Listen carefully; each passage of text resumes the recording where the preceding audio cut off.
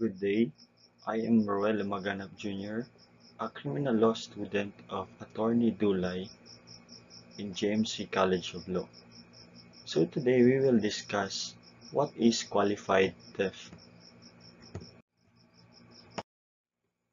Article 310 of the Revised Penal Code provides that the crime of theft shall be punished by the penalties next higher by two degrees than those respectively specified in the next preceding article.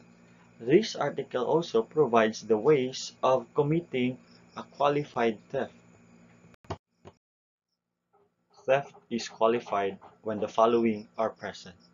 First, if the theft is committed by domestic servant. Second, if the theft is committed with grave abuse of confidence. Third, if the property stolen is A. Motor vehicle, B. Mail matter, or C. Large cattle. Fourth, if the property stolen consists of coconuts taken from the premises of the plantation. Fifth, if the property stolen is fish taken from fish pond or fishery. Sixth, if property is taken on the occasion of fire, earthquake, typhoon, volcanic eruption, or any other calamity, vehicular accident, or civil disturbance. To understand clearly what is qualified theft, we will now discuss certain jurisprudence which provides the difference between simple theft and qualified theft, specifically the case of People versus Coxon. In this case, the accused is charged with qualified theft for stealing and carrying away of the personal belonging of his housemate Luho.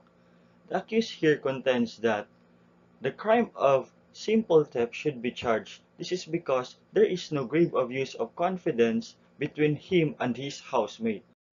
The issue in this case is whether or not the crime of qualified theft is committed.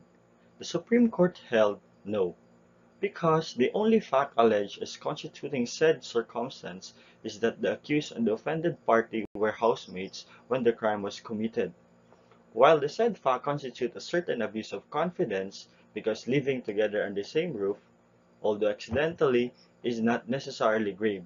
This is because there is no allegation in the information of another relation by reason of dependence, guardianship, or vigilance between the accused and the offended party that might create a higher degree of confidence between them which the accused could abuse. To sum up, being housemate is not sufficient to allege that the second type of qualified theft is committed. This is because abuse of confidence must be alleged in the information and proof of relation by reason of dependence, guardianship, or vigilance between the accused and the offended party. Thank you and may God bless you.